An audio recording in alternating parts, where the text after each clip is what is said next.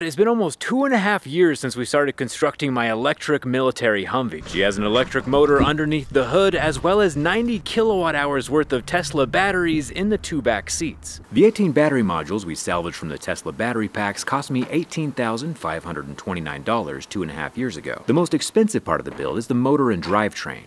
A brand new UQM 220 Plus inverter and motor cost me $25,000. The Torque Trends torque box that geared my top speed correctly was 4,595, and the Atlas transfer case, which gives me four-wheel drive, cost me 4,021. And finally, this rather exquisite-looking slant-back top from Alpha Customs was 12,500.